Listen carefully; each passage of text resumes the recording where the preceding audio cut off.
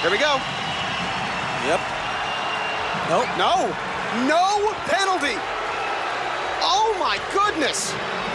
That is a shocker. Welcome to another edition of Instant Replay presented by Cheez Its. And you know who I'm with the Hall of Famer fill in, Calen Carr. Two words. Calen, Let's go! we start in Seattle where the Sounders are taking on Western Conference foe Colorado Rapids. And Kellyn Rowe plays a ball into Will Bruin. There's a foul. Lalas Abubakar brings Will Bruin down. Referee blows the whistle. And uh oh, Nico Lodeiro. Quick, intelligent, plays this long ball off the quick restart. And then next thing you know, Jordan Morris slides it in, chip, goal, 1 1.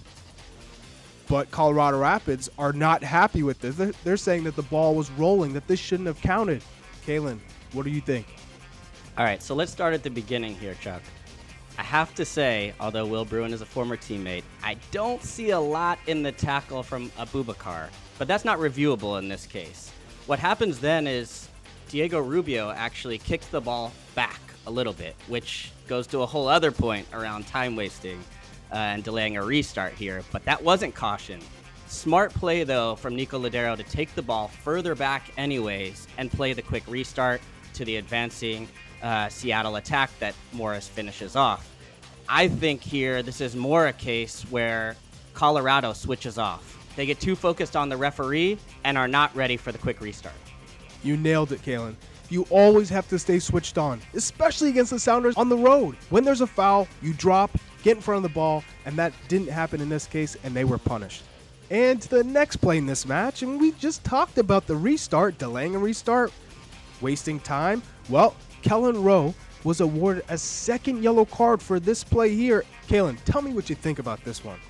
Ah, this one hurts because it's not the smartest play here from Rowe. They're level in the match, plenty of time to play. You're on a yellow. You can't make this move because there's been an added emphasis this season on delaying a restart. That said, this feels incredibly harsh to me. To see he just tosses it just over the sideline. It's not delaying the game by any major amount. You got to have maybe a bit of a feel here if you're the referee. Go over to Rowe, give him a stern warning, remind him potentially that he's on a yellow, which he should already know, yes. But come on, it disrupts the flow of the game. I think this is one he could have let go.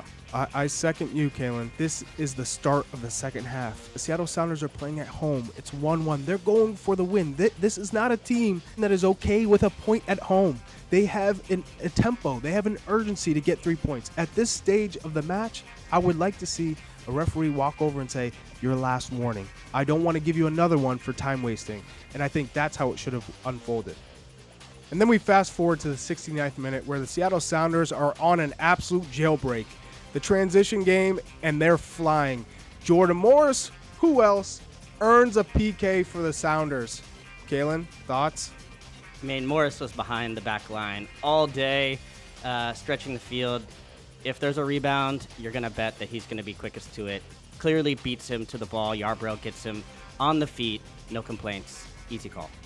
Now we head over to Orlando, where Orlando City are taking on the Philadelphia Union. It's the 39th minute. And there's a corner kick, and Jakob Glesnes with the flick to Gazdag, who taps it in goal. Or so he thought. The flag is up. VAR check. Offside. overturn. The goal stands. Daniel Gazdag gets the goal. This one was a tight one. Calen, what are your thoughts? I think the VAR, Jair Marrufo, does a good job here because as you look closely, Huan is standing level with Gazdag, who's just behind him. Huan turns off a little bit, begins to step forward just as Glesnes makes contact with the ball. Gazdag does a good job of staying alert, gets a toe in, finishes the goal. Good call. Now we fast forward in the match. We're in the 94th minute, and this is where things get interesting. There's a corner kick, and there's a battle between Daniel Gazdag and Antonio Carlos. Now nothing's called on the field. Antonio Carlos has his hands in the air, but eventually Alex Chilowicz is again signaled to the monitor from VAR official Jair Marrufo. Orlando fans, Orlando players, they think it's a slam dunk. Oh, we got this. This is going to be a penalty. Easily. He comes back, and not only does he not give a penalty, he says it's a foul on Antonio Carlos going the other way. Calen, this one's a complicated call. What do you say? This is a tough one because when I first saw this, I was screaming to be, this has to be a pen. You can see Gazdag has control of Car- Antonio Carlos throughout much of the play, and by control, I mean half of his shirt in his hands. But as you look a little bit closer, I saw that this was actually more of a hand to hand situation where Antonio Carlos has Gazdag's shirt as well and actually looks to pull Gazdag closer to him, which generally you would think would be pushing away to try and create space. That changed things for me. What about you? Calen, that is that subtle movement that goes unnoticed. Antonio Carlos does, in fact, grab a handful of jersey of Daniel Gazdag and pulls him onto himself to get the call. So I think in the end, this is a job well done from the officiating crew. It's a very tough play. You have to take every pull into account. Yes, they were both jostling, but in the end, I think they got this one right. Now we take our talents to Toronto, where TFC are taking on Charlotte. And this is no questions asked here as the DOGSO play on Christian Fuchs as he pulls down the Toronto attacker. And yes, the red card comes out automatically. But that's not the play in question. The play in question happens before the ball is played into space. It's here where Doneil Henry makes his tackle and what appears to be a little controversial. Calen, did you see a penalty here? I do, Chuck. I think he misses the ball with his initial tackle. The foot goes over the ball here. Yes, there is contact with his trailing leg with the ball, but for me, there's enough to say that he didn't get the ball on the first play and makes contact with the attacker to say that this could have been brought back and been a penalty for Charlotte.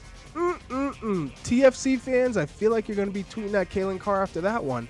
But what I will say is, it's not clear and obvious. Did Doneil Henry get a little touch of the ball? Did that trail leg actually, in fact, win the ball? We don't know. It's not clear and obvious for me. So I think they got this call right in the end.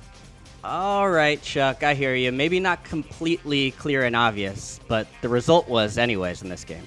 We head to Yankee Stadium, where New York City FC are taking on Inter Miami. Alejandro Pozuelo is trying to make a little move in his own half, and is that a foul? It leads to a Maxi Morales goal. Calen Carr, what say you? I don't see anything here, honestly, uh, for Pozuelo to complain about. And then the second question here is Maxi Morales offside. And I think the timing is just right here. Nobody wants to pull out those uh, crazy lines. That's close enough for me. Looks level. I think it's a good goal. Ah, See, for me, this is a foul. Now, it's a very slight foul, but a foul is a foul. You could see Santi Rodriguez take two hands and pull Alejandro Pozuelo. Now, it wasn't the most egregious pull, but it is a pull, which prevented him from taking that ball and making a pass. For me, I think this is a foul. Chuck, he dishes it out first and then gets a little bit back and just stops. I think it's got to be more in there for or a goal to be reversed. All right, let's move on to the next play in this match. It's the 32nd minute. Tati Castellanos thinks he has an easy tap in for Malte Amundsen. He slides it in. Tati scores! Hold up, flags up, offside. Calen, do you agree with this call? Oh, it's close, and who wants to take away one from Tati during his last match, potentially last match with NYCFC? Uh, but I think he's going to have to settle with the nice send off, three points, and not have a goal in this one because this one looks just offside to me. I'm with you. I think he's slightly offside. It's very, very close. He's just a half foot offside. We head to Cincinnati, where FC Cincinnati have a free kick and they're down 1 0 in the 51st minute. This is a great opportunity to get back in the game. They hit the free kick and, oh, Brenner tries to head it and it looks like it may have come off of Dax's hand. Is there an argument for a handball, Calen? This one I've watched a number of times here, and as I go slower and slower, I do see Dax's arm come out to the left hand side pretty high there. Yes, he is trying to change his direction to defend the cross, but I do think that hand comes up in an unnatural position. It's hard to say if there's contact. It does look like it makes contact, so I could see this one having gone to video review, being awarded a pen but it's tough to get a clear look from what I can see. Well, if you see something, say something. That's it for this edition of Instant Replay presented by Cheez Its. I'm your boy, Charlie Davies, and I'm happy to be joined by the Hall of Fame fill-in, Calen Carr. See you next time.